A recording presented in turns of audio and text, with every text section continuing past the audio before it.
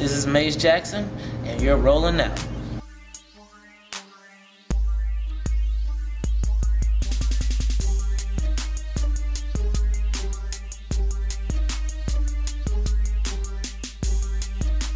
I'm quick to put my ego in check and to humble myself. Humble myself in a way not to be disrespected, but to defer to the larger presence or the, or the larger people in the room. And I look to, instead of making myself look like the big man, provide them with insight and information that will allow them to shine so that they always tend to rely on me for advice.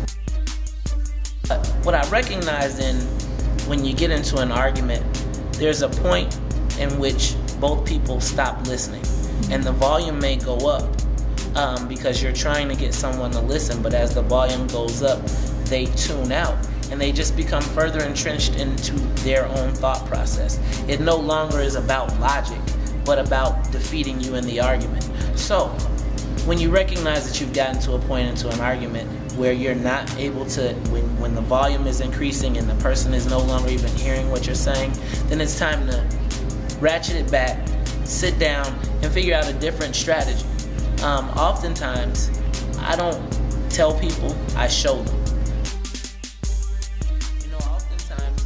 way to lose is by asking for someone to give give give without the thought of what the reciprocity is. I think that in real winning situations, if I want to continue to work with you and continue to do business with you, I want to do business with someone that when I help them or when I work with them, it also may, it benefits me. So create win-win situations. Don't try and beg and don't go in from that situation because usually someone that comes in begging is someone that's weak and can't benefit you in the long run anyway.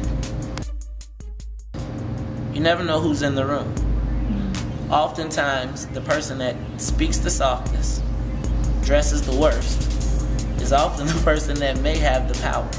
So before you judge someone based on the car they drove, the suit that they're wearing, or the uh, external appearances, make sure you know who's in the room.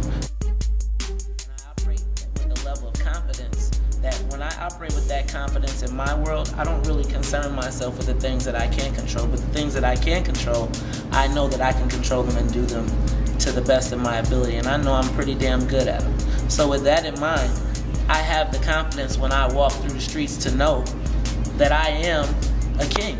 Now, if you don't recognize it, I'm sorry that you don't, but I do and I have it in my heart. And so I carry myself with a level of confidence because I know that within the realm of where I dwell, I rule.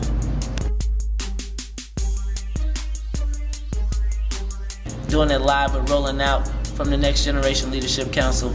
Peace.